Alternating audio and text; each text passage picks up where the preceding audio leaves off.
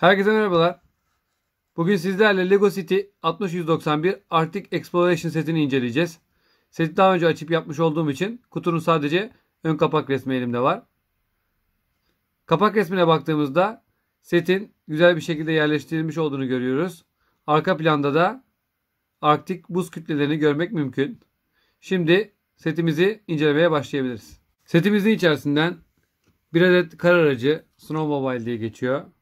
Çıkıyor. Bir adet karlarla kaplı incelemek istediğimiz biyolojik yapıyı içeren bir kısım var. Seti içinde 3 adet mini figür çıkıyor gördüğünüz gibi. Bir adet de husky köpeği hayvan figürü çıkıyor. Şimdi isterseniz öncelikle figürlerimizi kenara alalım. Ve içinden çıkan parçalarla yapılan aracımıza bakalım.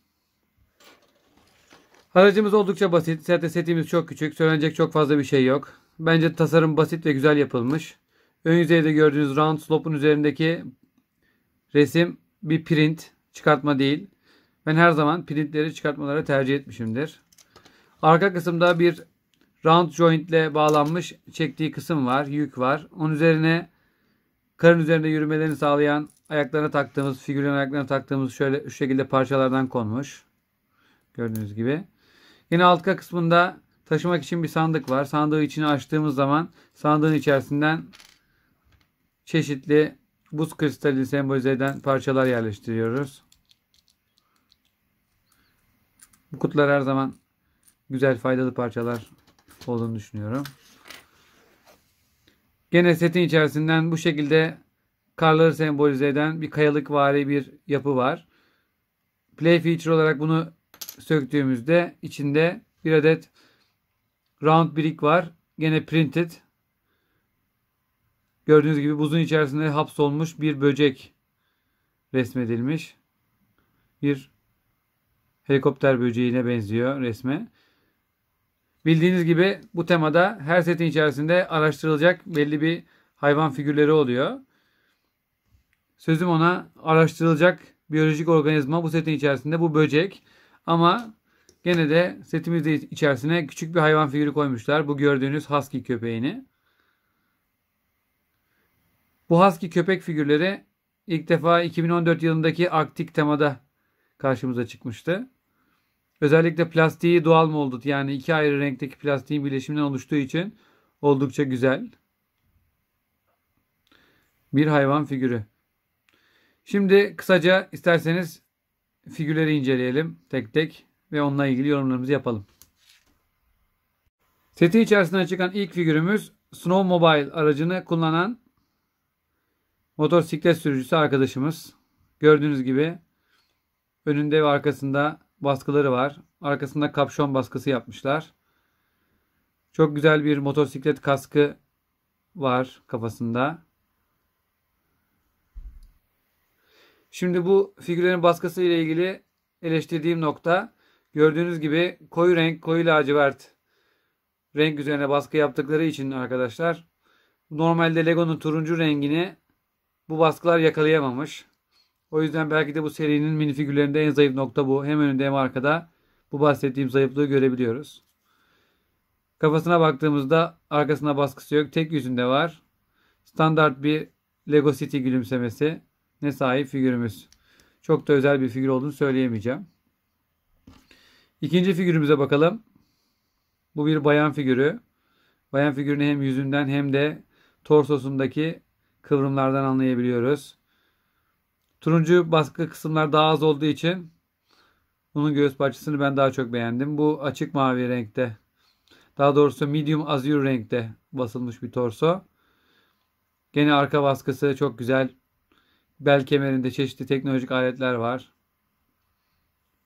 Elinde de bir tane dairesel testere var bu figürün. Yanında aksesuar olarak onu kullanıyor. Setimizin kapağında gösterdiği şekilde. Kafasında bere parçası var. Bu bere parçasının çeşitli renklerini, mavisini, grisini, lacivertini, çeşitli kar temasının geçtiği çeşitli soğuk ortamlarda geçen atmosferleri yansıtan setlerde görmüştük. Çeşitli city setlerinde bu bereyi. Gene çok özel bir figür olduğunu söyleyemeyeceğim. Bu figür arkadaşlar setin içerisinden çıkan hem en güzel hem de en özel figür diyebilirim. Şimdiye kadar kırmızı renkte bir Arktik figürü görmemiştim ben. Özellikle bu başlık parçası beresi diyebileceğimiz oldukça güzel. Custom figürlerinizde kullanabileceğiniz bir parça. Ben bayıldım bu kaska. Belki de bu seti alma sebebim bu figürden ziyade bu kaska sahip olmak. Gene arkasını döndürdüğümüzde kapşon şeklinde baskısını görüyoruz. Ön yüzü oldukça başarılı. Teknolojik aletler takıldığı halde resmedilmiş torsosunda. Ve aksesuar olarak da bir fotoğraf makinesi kullanıyor bu setimizde. Bu figürün adı hem Arctic Photographer hem de Biologist olarak geçiyor. Özelleşmiş bir figür diyebiliriz biyolog olarak. Bu setle e, bu part bu mini figürle ilgili tek eleştirim ellerine gene azür renkte eldiven koymuşlar. Onun yerine ten renginde yani tan renginde ya da beyaz renkte bir eldiven tercih etselerdi belki de figür için daha uyumlu olabilirdi. Ama setlerin geri kalanında daha yaygın olarak herhalde mavi rengi tercih ettikleri için, azür rengi tercih ettikleri için bu şekilde yapmışlar. Eğer izlerseniz bu figürün eldivenleriyle elleriyle değiştirirseniz belki de daha uyumlu olabilir diye düşünüyorum. 2018'de çıkan Arktik teması Lego'nun çıkarttığı ilk Arktik tema değildi bildiğiniz gibi. Lego ilk başta 2000'li yıllarda daha sonra 2014'te tekrardan Arktik teması çıkartmıştı. Şimdi o zamanlar çıkan figürlerle ufak bir karşılaştırma yapmak istiyorum. Bu gördüğünüz figür 2000 senesinden kalan orijinal Arktik temasından bir figür. 2000 senesinde tahmin edersiniz ki torsonun arkası her zaman baskılı olmuyordu. Çok nadiren baskılı oluyordu. Gördüğünüz gibi önünde Arktik logosunu, temanın logosunu görebiliyorsunuz. Gene çeşitli detay baskılarıyla oldukça güzel. Kafa printi ise oldukça zayıf. Bugünün kıstaslarıyla değerlendirirsek. Kafasına geçirdiği kapşon parçası ise kürküyle beraber oldukça güzel. Ardından 2014 yıllardan bir örnek vereyim. Tabii ki 2014 yıllar bugüne fazla uzak değil, çok yakın. Bugünün figürlerine oldukça kalite olarak ve baskı olarak benziyor. Bacaklara kadar uzanan bir baskıya sahip, oldukça detaylı ve güzel. Gördüğünüz gibi temanın logosu, Arctic logosu değişmiş. Adı her ne kadar Arctic Exploration kalsa da gördüğünüz gibi kutup dairesini gösteren bir logoya sahip. Arkalı önlü torso baskısı. Yüzünde gene arkasında baskısı yok ama öndeki gözlük baskısı oldukça güzel.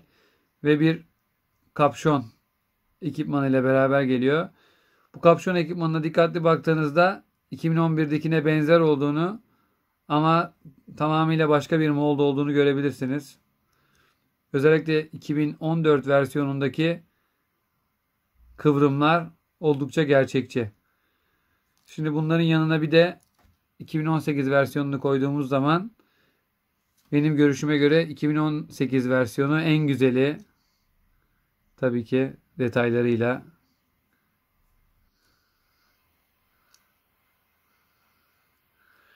İlk defa bir kırmızı figür çıktığını da Arktik temada söylemiştik. Son olarak setin içinden çıkan Husky figürünü biliyorsunuz. Lego yıllar içerisinde çok sayıda köpek figürü çıkarttı. Gene bu senenin 2019 minifigür serisinde de biliyorsunuz köpek bakıcısı bir figürümüz vardı. İçinden iki tane köpek figürü çıkan. Ama bu köpeğe en yakın olan köpek figürünü biliyorsunuz. Standart Alman kurdu şeklinde olan köpek figürü. Gerek duruşu, gerek üstündeki stat bağlantısı, gerekse karakteristik yapısıyla en benzer özellikle olan köpek bu. O yüzden bunları yan yana göstermek istedim. Boylarına baktığımızda Alman kurdunun daha yüksek olduğunu ancak Husky'mizin çok küçük oranda daha uzun olduğunu görebilirsiniz. Sadece yüzlerinde printleri var. Tabii ki Husky köpeği doğal moldut olduğu için bence çok daha başarılı. Koleksiyonumdaki tüm köpeklerle alakalı ayrı bir video paylaşacağım ileride arkadaşlar. O videoyu da izlemenizi öneririm ileride yayınladığım zaman. Seti genel olarak değerlendirdiğimde başarılı bir set olduğunu söyleyebilirim. Özellikle fiyat değer anlamı bakımından karşılıyor. Verdiğiniz paranın hakkını veriyor. Setin içerisinden tabii ki 3 tane minifigür çıktığı için bu boyutta set için oldukça güzel. Setin içerisinden çeşitli aksesuarlar ve bir de hayvan figürün çıkması benim hoşuma gitti.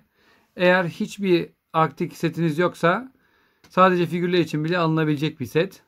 Örneğin benim seti alma sebebim daha önce de bahsettiğim gibi ortada gördüğünüz kırmızı renkli figür. Evet bu şekilde bu kısa incelememizin de sonuna geldik. Umarım hoşunuza gitmiştir. Bir sonraki incelememizde görüşmek üzere. Hoşçakalın.